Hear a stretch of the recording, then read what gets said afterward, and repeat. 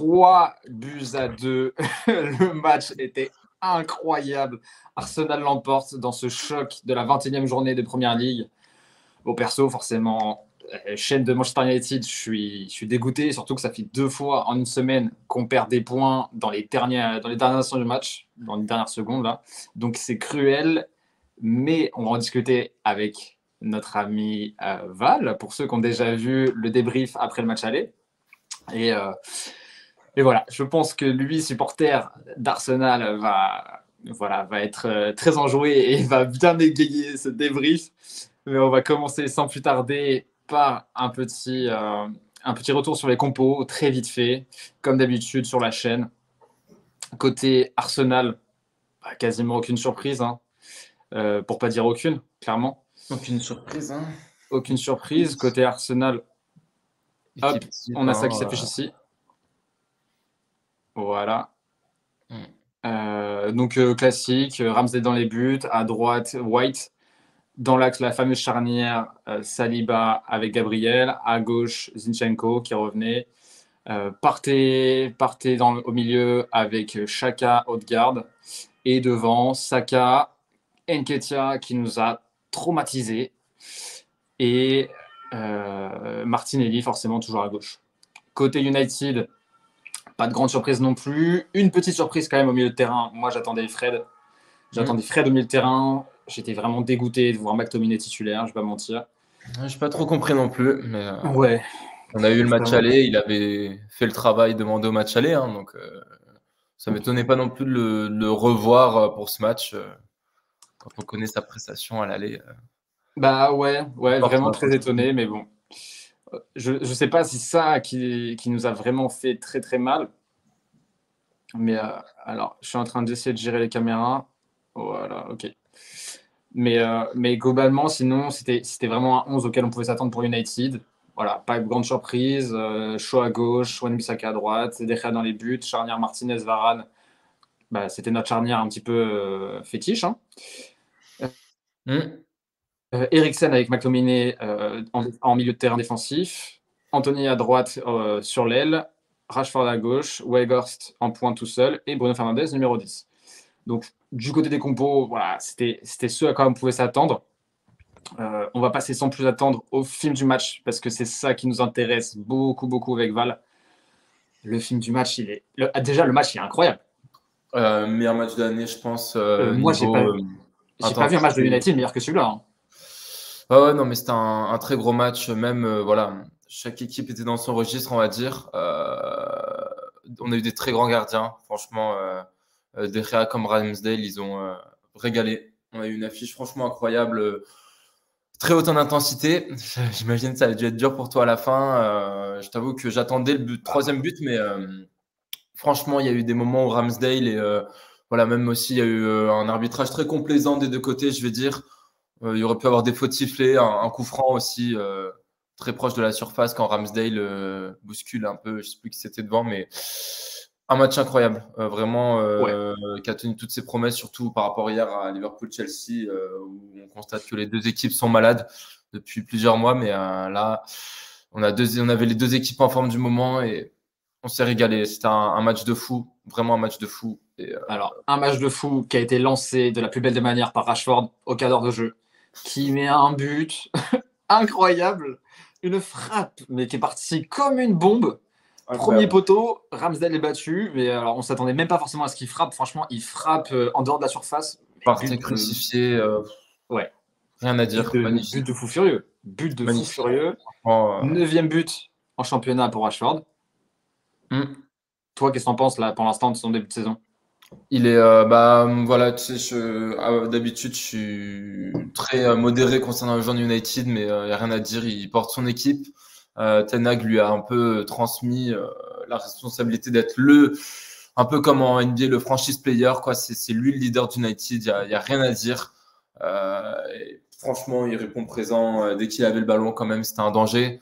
contrairement à Anthony qui tricote encore souvent Rashford, donc c'est quand même très clinique. Ça frappe, rien à dire, c'est, un but magnifique. Et façon, on sentait dès qu'il avait le ballon, c'était danger. Et euh, c'est euh, l'impression qu'il confirme euh, match après match. il est dans une dynamique vraiment époustouflante, je trouve. et ça y est, vraiment, il est dans un rôle assumé de leader de United. Où avant, il a souvent été leader alternatif et il voulait peut-être ce rôle qu'on a dévoué vraiment. Et là, il l'a déjà, d'une part, et d'autre part, ben, il l'assume. C'est ça. Franchement, ça ressemble vraiment ça ressemble vraiment à la saison de la maturité, je trouve. Ça ressemble vraiment à la saison de la maturité pour Ashford, qui arrive sur ses 25 ans, je crois. Donc, euh, il confirme que c'est plus un espoir. Là, ça y est, c'est devenu un joueur qui devient régulier et qui commence à faire des différences de manière régulière dans les gros matchs. En parlant de gros matchs, pourquoi il y a eu un gros match? Parce qu'il y a eu plusieurs buts. Et le deuxième but, il arrive 10 minutes plus tard. Enketia répond à Rashford sur un très très bon centre. Enketia reprend de la tête. Wan Bissaka un peu responsable quand même parce que deuxième poteau, il saute même pas. Il a pas vu arriver.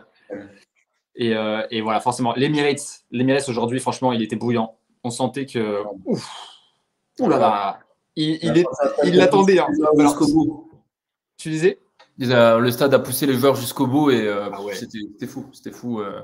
franchement, le, comment dire, le, soulagement qu'il y a sur le troisième but, mais même on sent à la mi-temps euh, une minute avant la fin. Euh, on sent qu'il y a beaucoup d'intensité et qu'ils sont capables de, les emmener. Mais très bien, franchement, une très bonne ambiance et des joueurs euh, très sérieux, très sérieux. Ça fait plaisir de voir des joueurs d'Arsenal sérieux comme ça, qui font pas d'erreurs, qui, qui se laissent pas avoir par le faux rythme parfois, ou même qui pètent pas les plans mentalement. c'est un match. Bah, déjà, le match à avait été perdu, mais c'est un match. J'aime beaucoup dire ça cette saison, que ce soit le match contre Brighton ou le match contre West Ham qui a eu notamment, c'est des matchs il y a un ou deux ans, Arsenal les perdait totalement ou pouvait s'égarer mentalement. Et là, bah, ça subit une ouverture du score et derrière, ça continue. Donc oui, effectivement, bah, de toute façon, Arsenal, moi, je suis persuadé depuis la défaite à Old Trafford, ils attendaient ce match retour avec impatience. On a vu les supporters, c'était pareil. Ils nous attendaient le couteau entre les dents. Bon, bah, ça n'a pas loupé. Franchement, ça a été un match incroyable. À la mi-temps, ça fait un partout. Et on a, entrée de deuxième mi-temps, Saka qui marque un but. Pareil, un bijou. Un bijou, un but magnifique. Ce, joueur-là, je sais que toi, il te frustre. Ouais. Il te frustre ce joueur, mais en réalité, qui est-ce qu'il est régulier lui aussi? Ah encore, une belle pépite euh, anglaise. Ah, déjà, son but, c'est un banger, enfin, incroyable. Et surtout là, bah voilà, je, parlais vraiment, euh, je, je le match avec des potes et je disais putain ils font plus les ils sont plus intelligents dans le jeu ils sont moins bêtes et voilà là Saka il a beaucoup mangé la ligne je trouvais mais c'était cohérent et ça doublait bien euh, avec le latéral quand c'était White tout Tomiyasu et il est, vraiment sérieux maintenant il tire plus n'importe quand euh, on sent que voilà il préfère euh, améliorer son angle de frappe plutôt que de frapper automatiquement quand il est sur son pied gauche but extraordinaire et un joueur maintenant réfléchi et qui assume lui aussi son statut. Il n'a pas le même statut que Rashford, mais voilà, c'est une étoile montante et il confirme euh, Southgate avec Rashford et Saka. Maintenant, il va avoir du boulot euh, pour façonner une équipe type aussi avec l'Angleterre parce qu'il a des joueurs qui répondent présents euh, ouais. dans les deux clubs. Ouais. Il y a vraiment de quoi faire. Il y a vraiment de quoi faire avec l'Angleterre. De toute façon, devant cette année, ça tourne à plein régime à Arsenal. Ça, ça marche très très bien. Moi, un joueur qui m'a impressionné aujourd'hui, enfin qui m'a impressionné, je ne sais même plus si on peut dire qu'il m'impressionne, parce qu'en réalité, ça devient une habitude, c'est Odegaard.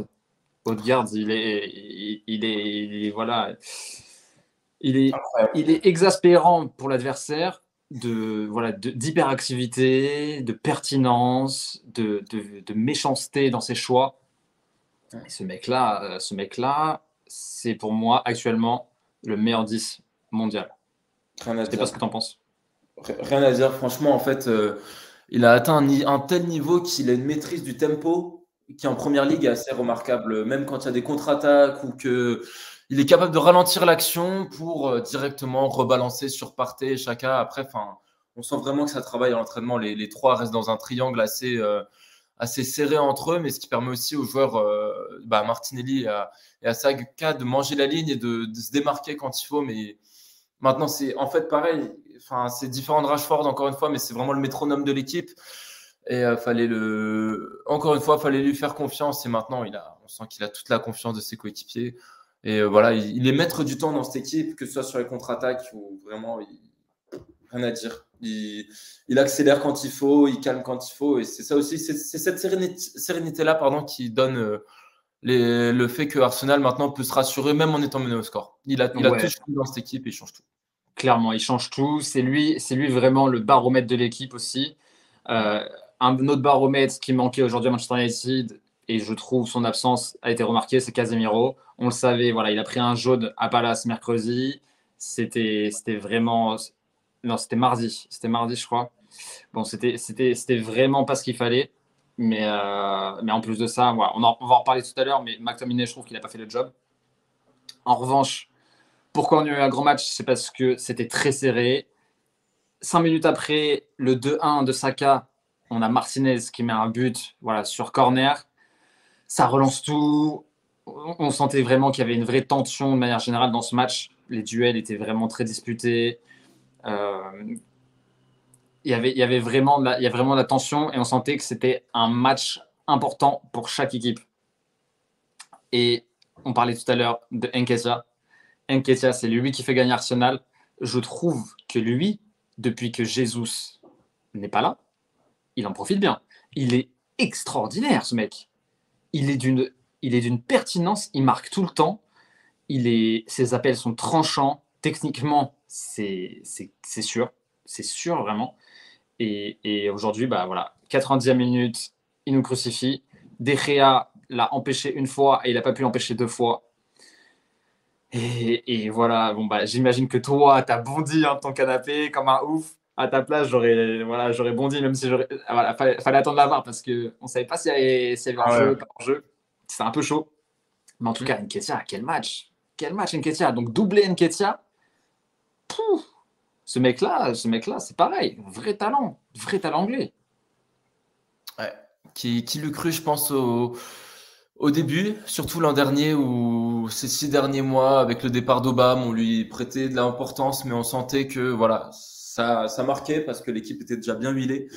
Et euh, mais on sentait que s'il manquait quelque chose, tu vois, et euh, là, là, faut, faut dire quelque chose, c'est que la blessure de Gabi Jésus l'a libéré, mais l'a complètement libéré. Je pense aussi que il y a eu un gros travail de fond euh, fait par Arteta pour lui faire comprendre que il, il remplace pas Gabi Jésus dans, le même poste. Gabi Jésus, quand il jouait, il vient, il décroche. Là, non. Nketiah, ça se voit et c'était ça, aussi qui pêchait l'an dernier. là, il reste plus devant en point de fixation et euh, il vient se mettre en deuxième joueur qui permet justement bah, Premier but, euh, voilà, il passe dans, il profite d'un errement défensif devant Bissaka pour marquer.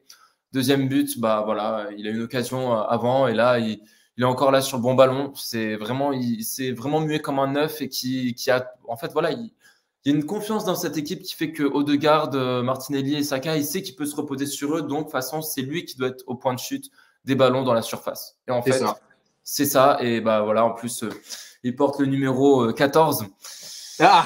ah. ça faisait beaucoup jaser au début, mais voilà, c'est bon, on ne fera pas non plus de comparaison hasardeuse, mais là, je suis très fier de lui. Euh, j'avais annoncé à mes potes avant le match qu'il allait vraiment faire un gros match. Il n'avait pas marqué au cours des deux matchs précédents, mais je, ça se voit qu'il est chaud, ça se voit qu'il a faim. Et euh, franchement, il faut vraiment profiter. Il est incroyable. Là, est-ce que ça serait pas un top? Moi, c'est la question que je te pose. Est-ce que ça serait pas un top? En ah oui, top.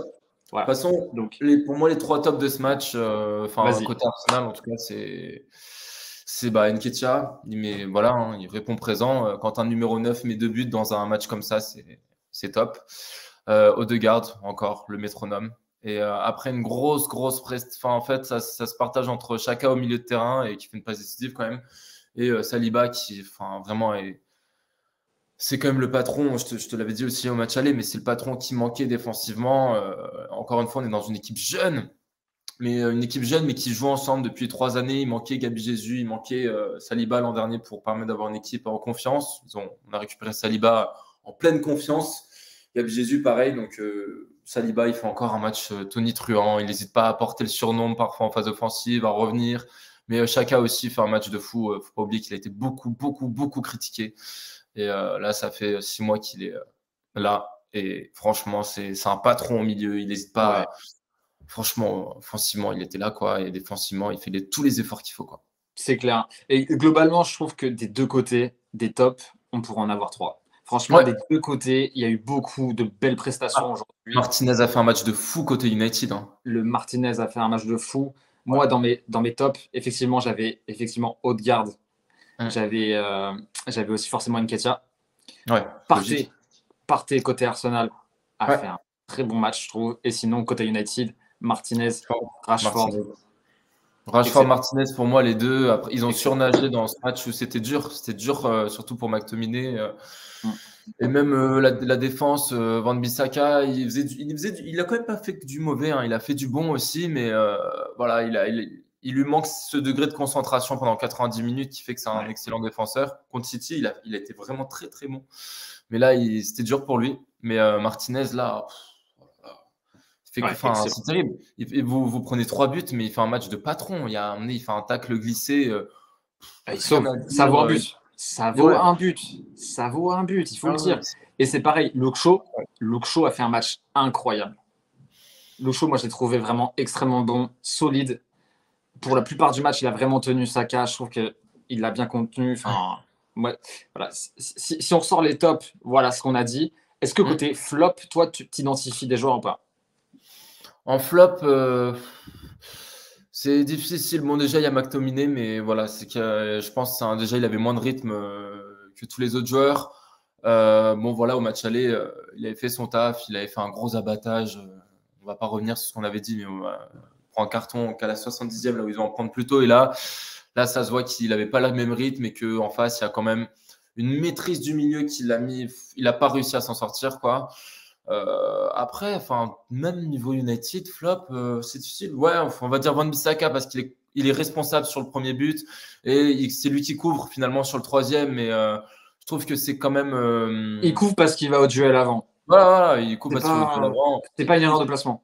Voilà. Puis, enfin, franchement, avant, il sauve un ballon sur un autre tacle. franchement, c'est difficile de trouver des flops. Après, peut-être.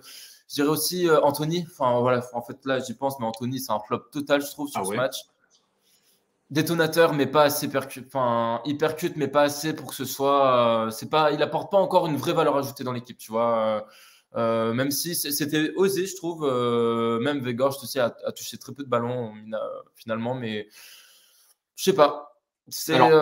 mais après, je dis, c'est United a quand même fait un bon match. Hein. Ouais, ouais, parce que ah, moi j'allais dire justement côté flop, j'en ai, hein. j'en ai pas beaucoup de flop. Même côté, Côté Arsenal, côté United, j'ai peu de flop. McTominay, de façon certaine, flop.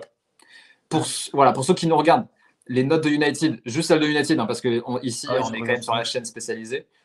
Vous les avez qui défilent. Weghorst, quand même, il n'a pas touché tant de ballons, mais moi, je suis extrêmement satisfait de son match parce qu'il était inquiétant à Sellers Park. Là, aujourd'hui, je trouve qu'il a fait largement ce qu'on attendait de lui. Il a été bon dans les déviations. Il est... Je trouve qu'au niveau du placement, c'était correct. Euh, c'est pareil au niveau du pressing, je trouve que c'était vraiment intéressant. Weghorst, pas grand chose à dire. Anthony, moi j'ai trouvé plutôt pas mal. Moi j'ai plutôt bien aimé Anthony en réalité. Et c'est pareil, moi là par contre, je vais parler un peu du coach. Un truc qui m'a beaucoup étonné et qui, je pense, explique quelque part le fait que voilà, le, le troisième but d'Arsenal, il vient d'une période où on subit de malades on subit de malades, euh, tu pouvais pas, tu pouvais pas continuer de façon indéterminée comme ça, de, de, devoir encaisser des occasions, occasion après occasion. Et, pourquoi? Parce que on sort Anthony, on fait entrer Fred. Ouais, ça, j'ai pas compris. Moi, je suis pas d'accord. Je trouve que le match, il était plutôt équilibré. Alors, légère domination quand même Arsenal, mais je trouve que c'était plutôt équilibré jusqu'à la 70e où on sort Anthony. On sort Anthony pour faire entrer un milieu plutôt défensif, mais derrière, ça s'est ressenti à mort sur les contre-attaques, dès qu'on avait le ballon, on ne pouvait pas aller très loin parce qu'il n'y avait pas d'option. Et, ça, vraiment, je trouve que c'est côté Eric Tanag, peut-être le petit bémol quand même. Parce que si tu sors, éventuellement, tu sors Anthony. Il, a flopé un peu sur la tactique du match. Euh, même Garnacho est rentré trop tard. Euh, je, suis d'accord pour dire que sortir Anthony pour Fred, euh, c'était pas du poste pour poste, alors qu'on est quand même dans un match ouvert où tu peux encore tuer ton adversaire. Et surtout, le, pire, c'est que la suite du match, enfin, franchement, on a 75e à la 85e. Euh, moi, je pensais qu'il y avait. Enfin, le, tu, tu, me donnes un 2-2 score final, franchement, je le prenais aussi parce que bah, United a eu les occasions pour marquer. Ouais, mais complètement. Et c'est ce que j'allais te dire c'est que tu sors Anthony à la rigueur, why not? Mais fais rentrer un poste équivalent, comme tu disais. Tu fais rentrer Garnacho, tu fais rentrer Garnacho, tu fais, tu fais pas rentrer Fred. Pourquoi aller mettre une, espèce de solidité au milieu alors qu'il n'y avait pas besoin? C'était assez équilibré. Donc moi, je trouve ça, c'est vraiment ma déception côté Eric Tenag. Euh, pour terminer la vidéo, on va s'orienter un petit peu vers les conséquences au classement de ce match. Parce que les conséquences au classement, surtout pour Arsenal, on va pas se le cacher, hein bon, euh, c'est extrêmement intéressant. C'est extrêmement intéressant. Arsenal mérite sa victoire. Je trouve qu'il n'y a pas grand-chose à redire là-dessus. Mais, mais, franchement, là, il commence à y avoir un petit matelas. Hein. Un petit matelas bien intéressant. Donc, on a Arsenal premier, ça ne change pas. Par contre, ce qui change, c'est l'écart avec le deuxième, qui est quand même de 5 points maintenant, sachant que il reste deux confrontations avec City. Donc, les 5 points, c'est entre les mains d'Arsenal. Rien d'autre. Qu'est-ce que tu en penses, toi? Bah, c'est là le problème, tu vois.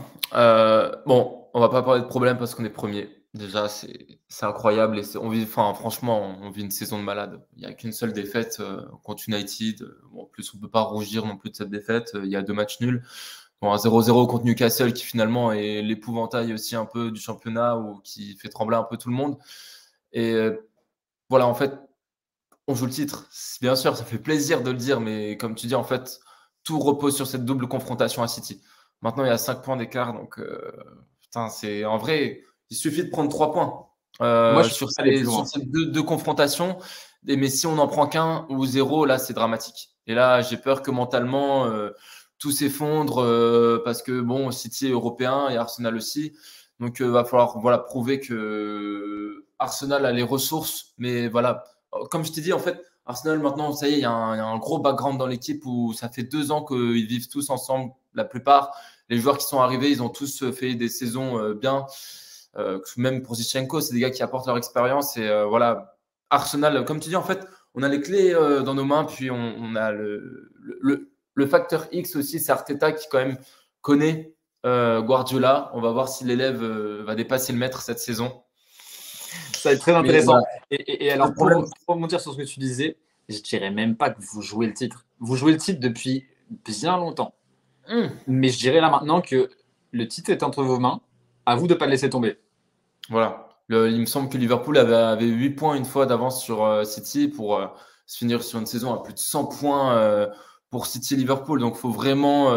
voilà, City a quand même une équipe de, dingue. Ils ont une profondeur de banc qui va leur permettre de jouer sur tous les tableaux il y a une confrontation en couple là, justement entre Arsenal et City ou même euh, mentalement tu peux pas mettre une équipe B parce que faut envoyer un message aussi à ton adversaire. Et euh, là les messages par contre ils sont envoyés. City a perdu le derby de Manchester Arsenal a gagné le a gagné non seulement le North London Derby puis le match contre United. Quelle semaine!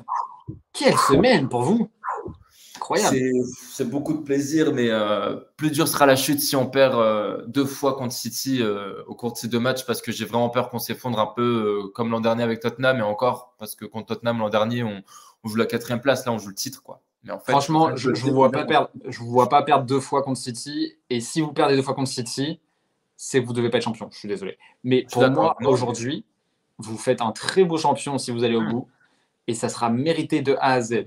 Donc, pour aussi parler un peu d'United maintenant, il y avait le débat. Est-ce que United peut jouer le titre ou pas? Moi, je trouve que le débat était ouvert. Maintenant, pour moi, il est fermé.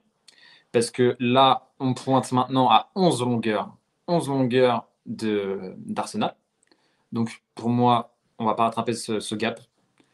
Par contre, là, il va falloir vraiment assurer largement le top 3, au pire la quatrième place. Au pire la quatrième place, ce qui fait un très gros coup d'arrêt quand même cette semaine parce que on laisse filer 5 points cette semaine. On laisse filer 2 points à la dernière seconde à Sellers Park. Et on laisse filer 2 points. Je ne vais pas dire 3 parce que match nul, ça m'aurait satisfait. Mais on laisse filer 2 points dans les dernières secondes à l'Emirates. Donc c'est très dur. Mentalement, on prend un gros coup parce qu'on s'était habitué à gagner, gagner, gagner, gagner. Et puis maintenant, il va falloir regarder plutôt derrière que devant. Donc c'est là aussi que cette défaite-là, même si en réalité c'était un très beau match et on ne peut pas dire que ça soit une réelle déception puisque Arsenal méritait. Mais, mais franchement, il va falloir s'en mettre de celle-là. Donc pour terminer ce débrief, déjà, je vais te remercier, Val, de t'être rendu disponible. Je sais que c'est pas toujours simple. Et, je vais te laisser le mot de la fin avant qu'on quitte nos abonnés. C'est pareil, les, abonnés ou les gens qui tombent sur la vidéo, si vous avez apprécié notre discussion avec Val, qui est toujours agréable d'ailleurs, n'hésitez pas à liker la vidéo, les amis. Ça permet vraiment de donner de la force à la chaîne. Et si vous découvrez et que vous trouvez que c'est agréable, vous trouvez que ma voix est suave, ou si vous trouvez que la voix de Val est tout à fait euh, agréable à vos oreilles, abonnez-vous les amis, ça fera toujours plaisir à vous et à nous. Et sur ce, Val, je vais te laisser le mot de la fin avant de quitter la vidéo. Allez, le mot de la fin, c'est c'est bien. Franchement, United euh, va mériter, en tout cas, United doit finir dans le top 3. Euh, voilà, c'est un impératif. franchement, le Big Four a été éclaté déjà depuis des années, mais là, United Arsenal sont ces géants au pied d'argile des dernières années qui reviennent et qui montrent aussi à Liverpool et Chelsea euh, que euh, dès que tu tombes, il y a vite du monde derrière, y compris pour Tottenham ou même Newcastle qui fait la surprise. Mais voilà, bon, on va surtout retenir Arsenal premier qui joue le titre. On va serrer les doigts et espérer du football. Mais euh, voilà, franchement, je souhaite à United de finir dans les trois premiers cette saison parce qu'il y, a y, aura, y aura rien qui sera volé en tout cas. C'est une grosse saison de première ligue encore auquel on a, à laquelle on a droit mais surtout on prend beaucoup de plaisir. On, franchement, il y a plus de matchs quand même euh, où il y a une intensité et un suspense jusqu'au bout. Et je pense que ça va être de même pour ce championnat, mais à l'Arsenal et, euh, United s'en sort euh, quand même bien. Malgré la perte des points, il y avait une dynamique engrangée. Il y a quand même encore plein de certitudes dans cette équipe. Et voilà, il y a, Rashford qui vraiment et je pense dans les trois meilleurs joueurs du championnat actuel, sans conteste. Donc, j'ai la première ligue et Abonnez-vous au QR aussi. Merci beaucoup.